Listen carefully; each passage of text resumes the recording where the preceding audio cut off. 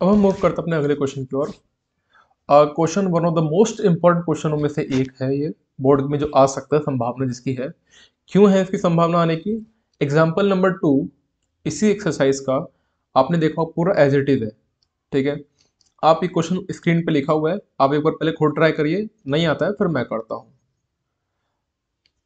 Try कर लिया बेटा। A code of a circle of radius twelve centimetre एक कोड है जिसकी आपको रेडियस दे रखा है बारह सेंटीमीटर तो जैसे बारह सेंटीमीटर रेडियस दे रखा है तो आप सात के साथ लिख लो given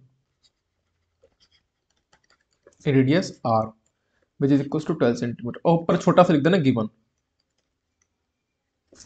तो हम यहाँ पर लिखते हैं twelve centimetre subtends an angle angle बनाता हो 120 डिग्री का एंगल बना के बैठता हो। तो यहाँ पर जो एंगल बनाया उसने 120 डिग्री का एंगल बना गया सेंटर से एट द सेंटर सेंटर से एंगल बनाता हो कितना? 120 का। Find the corresponding segment of the circle देखो कोड हमारा कौन सा? येलो जो लाइन नीचे दिख रही है कोड है हमारा। अगर हमको नामकरण देना हो तो इसको ओ बी और इस कोड का नाम दिया हमने ए बी कोड का नाम क्या दिया हमने ए बी और नीचे के साइड पॉइंट है, ठीक है? इस पॉइंट को एक भी नाम देते हैं सी क्वेश्चन में पूछा है find the area of the corresponding segment of the circle तो अब डायरेक्टली जो चीज़ निकालना होता है ना, उसको पहले लास्ट में अपना फ़र्स्ट ऑफ़ ऑल लिख दो। तो हम लिखते हैं the area of the corresponding segment of a circle segment of a circle अब हम जो जो हम सेगमेंट का एरिया निकाल रहे हैं, उसका नाम क्या है, वो पहले लिखो। ए बी सी हमारा उसका नाम है इक्वल्स टू अब सेगमेंट कैसे निकलता है, हम जानते हैं क्या है बेटा? अगर कोड में से, सुनो सेक्टर में से सेक्टर में से ट्राइंगल को गायब कर डालते हैं। सेक्टर में से ट्राइंगल को गायब कर डालो तो आपको सेगमेंट निकल जाएगा। अब सेगमेंट क्या? नीचे वाला पोर्शन आपका ये सेगमेंट था, इसको निकालेंगे कैसे? पूरे सेक्टर में से माइनस कर दो ट्राइंगल को एरिया को। तो हमारा बीच वाला नीचे वाला पार्ट ऐसे मिल जाएगा तो ऐसे निकला। तो हम यहाँ क्या लिख सकते हैं? एरिया ऑफ़ ट्राइंगल ट्राइंगल का नाम क्या बेटा? ए ओ बी माइनस करता हूँ। किसमें से माइनस करता हूँ? Area of sorry area of यहाँ पर बेटा सेक्टर लिखना आपको यहाँ पर छोटा सा part area of sector sector कौन सा बेटा आपका? ओ ए सी बी माइनस का. अब एरिया ऑफ़ ट्राइंगल जो कि है बेटा अपना ए ओ बी ठीक है? Area of the sector sector का नाम है ए ओ ए सी बी में से माइनस करते हैं ओ ए बी को।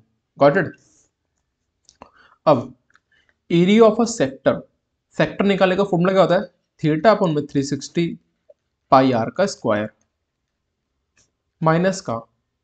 एरिया तो ट्राइंगल की बात करो ट्राइंगल का फॉर्मूला क्या होता है? अगर हमको एरिया निकालना हो हाफ़ बेस इंटू हाइट होता है अपना तो हम लिखेंगे हाफ़ बेस कितना है? बेस तो देखो, अब बेस और हाइट कि दो चीज़ पर कंसिडरेबल करना, क्यों? क्योंकि जनरली हमको हाइट हमको नहीं पता चलता। किसी भी ट्राइंगल में, ये ट्राइंगल मानो, इस ट्राइंगल के अंदर अगर कोई 90 डिग्री का नहीं बना तो हाइट वो नहीं कहलाएगी। क्या कहा मैंने? अगर 90 डिग्री नहीं बना तो वो हाइट नहीं कहलाएगा हमारा नहीं बेस हम डिफाइन कर पाएँगे। तो हम इसमें क्या करते हैं? परपेंडिकुलर 90 डिग्री ड्रॉन करते हैं। अब कैसे ड्रॉन हुआ इस ट्राइंगल के अंदर? जैसे ओ ए बी हम जानते क्या है? अगर सेंटर से कोड की तरफ़ कोई भी अगर लाइन खींची जाती है सेंटर से अगर कोड की तरफ़ कोई भी लाइन खींची जाएगी परपेंडिकुलर ड्रोन होता है। तो ये परपेंडिकुलर ड्रोन होगा आपका। ठीक है। तो इसको नाम देता हूँ मैं डी अब इस ट्राइंगल में देखिएगा ओ ए डी अगर हमको इसमें बेटा ओ डी पता हो ओ से लेके हाफ़ बेस इंटू हाइट ठीक है बेस कितना होगा? बेस तो हमारा ए बी होगा इंटू में। हाइट की बात करता हूँ तो हाइट क्या होगा? अपना ओडी होगा। गॉट इट द पॉइंट और नॉट ठीक है।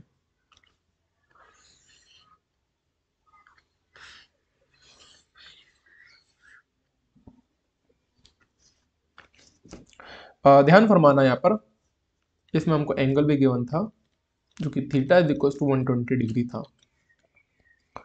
एक ट्राइंगल बनाइए। इस ट्राइंगल के अंदर ए डी और ओ ये 90 डिग्री है। ये हमारा बेटा 60 डिग्री बना है एंगल और ये अपने को दे रखा है 12 सेंटीमीटर अब हमको निकालना है बेटा ओडी निकालना है और ए बी निकालना है। ए बी निकलेगा कैसे? अगर हम ए डी का डबल कर दे तो हमारा ए बी निकल के आ जाएगा। पहले निकालना डायरेक्ट अपना ओ डी थीटा के सामने वाली साइड हमको एक एक चीज़ पता है ध्यान से, कि अगर एक एंगल दिया हो और एक साइड दिया हो, एक एंगल दिया हो और एक साइड दिया हो तो कौन सा फ़ंक्शन लगेगा? ट्रिग्नोमेट्री फ़ंक्शन लगेगा। इसमें थीटा के सामने वाली साइड क्या होगा? परपेंडिकुलर और ये क्या हो जाएगा? बेस तो आपको क्या निकालना है? बेस निकालना है। और ये साइड क्या? हाइपोटेनियस 90 डिग्री के सामने वाली होती है हाइपोटेनियस बेस और हाइपोटेनियस के अंदर रिलेशन कौन सा होता है हमारा? बताओ बेस और हाइपोटेनियस पाकिस्तान, भूखा, प्यासा। हिंदुस्तान, हरा। देखो, पाकिस्तान भूखा बेस हिंदुस्तान हरा, यानी कि एच बी अपॉन एच कौन सा होता है कॉस का। तो हम लिख सकते हैं यहाँ पर in triangle A O D अगर हम कॉस फ़ंक्शन लगाते हैं कॉस सिक्सटी डिग्री लगाते हैं तो क्या होगा अपना? बेटा बेस क्या है अपना? ओडी और हाइपोटेनिस की बात करता हूँ तो ओ ए होगा।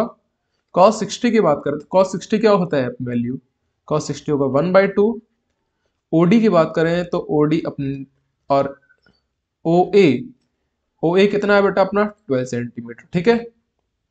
ये जो ट्वेल्व है, इससे अगर कट करें तो ट्वेल्व अगर वन से मल्टीप्लाई तो ट्वेल्व अपॉन में two which is equal to six centimetre होगा।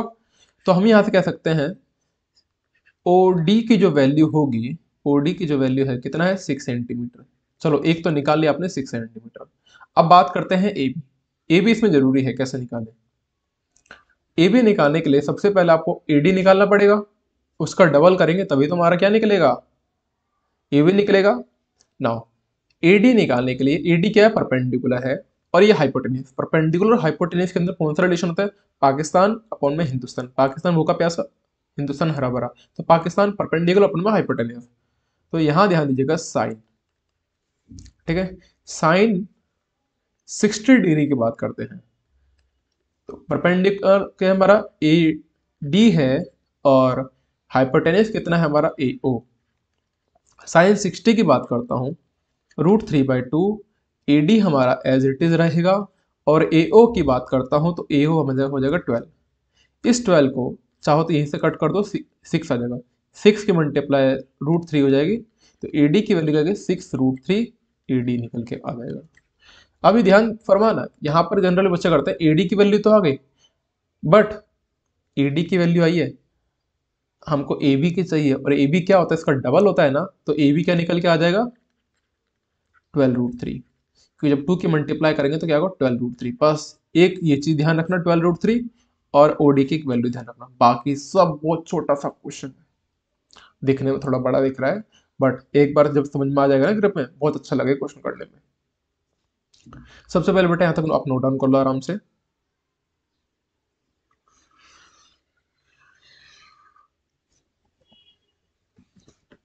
कर लिया।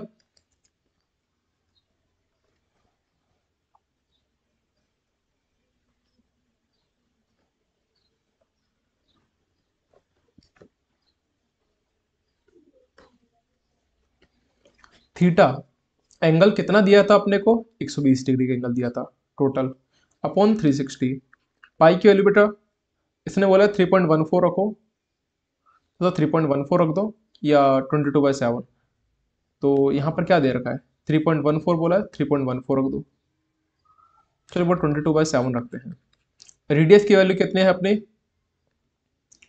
रेडियस है अपना 12 सेंटीमीटर तो 12 इंटू ट्वेल्व हो जाएगा।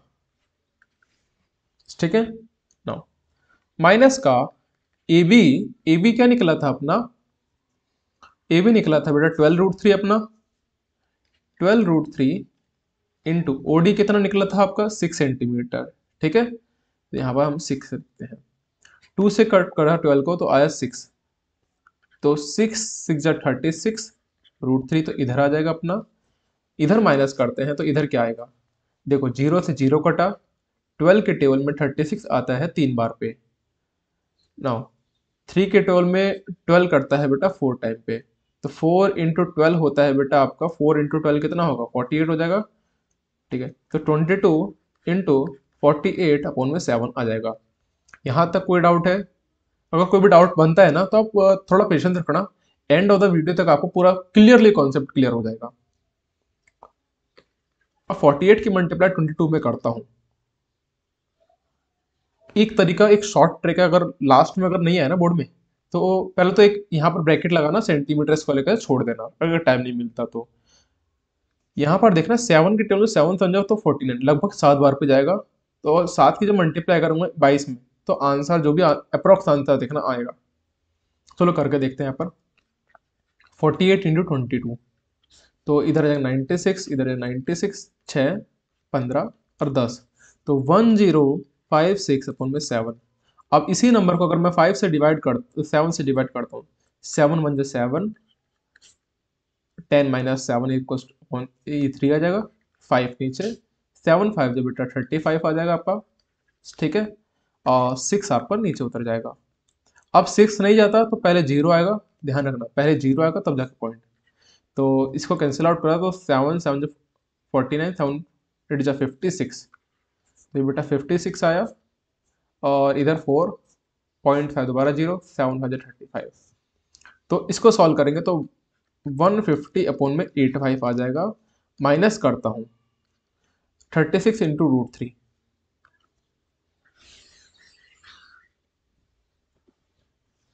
और ये साइड में अगर चाहो तो पता है, बोर्ड में क्या करना, एक लाइन खींचना और साइड में करते रहना calculation thirty six into root three thirty six मतलब रूट थ्री की वैल्यू होती है one point seven three. Into में करते हैं हम थर्टी सिक्स। ठीक है? सिक्स थ्री जगह होगा बेटा? एटीन होगा। सेवन फाइव जो thirty five seven six forty two forty two plus का one forty three six six one six और फोर होगा टेन थ्री थ्री जा होगा नाइन सेवन थ्री जा होगा ट्वेंटी वन थ्री वन जा थ्री एट और नौ और तीन होगा बारह. एक और एक होगा दो. और एक छ पॉइंट बेटा इधर लगाता तो पॉइंट आप इधर ही रहने दो इसे। तो कितना जाएगा sixty two point two eight. यहाँ तक कोई डाउट है? कुछ भी, थोड़ा बहुत भी डाउट है तो पूछो। मतलब पूछो वो कैसे? वीडियो रिकॉर्डेड वीडियो है। डाउट होता है, काम करना कमेंट में डाल देना, ठीक है? अगर जेनविनली ज़्यादा मतलब लगता है तो मैं कमेंट में आंसर दे दूँगा। या अगर कोई कॉन्सेप्ट में रिगार्डिंग आपको डाउट है तो आप सर ये कह दो कि सर, मेरे को ये कॉन्सेप्ट नहीं आता है। क्या आप अगर नेक्स्ट वीडियो में समझा सकते हो क्या? देन उसके बाद हम देख लेंगे, ठीक है आगे? नो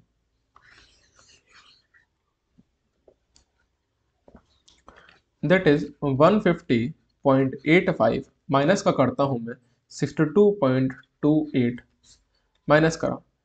पंद्रह पंद्रह से एट कितनी बार पे जाएगा बेटा? सात। सात में से दो जाएगा बेटा पाँच। ठीक है? दस में से ये देखो। दस में से दो जाएगा तो बचा आठ, फोर। फोर्टीन में से सिक्स जाएगा तो बचा कितना? एट यही आ रहा है फोर्टीन में सिक्स जाएगा एट। तो हमारा जो आंसर आया तो यहाँ पर भी लिख देता हूँ, sixty two point two eight. इसको माइनस करा तो लास्ट में eighty eight point five seven answer है सेंटीमीटर स्क्वायर लास्ट में अभी भी पूरा आंसर कंप्लीट हुआ है लास्ट में स्टेटमेंट के तौर पर लिखना।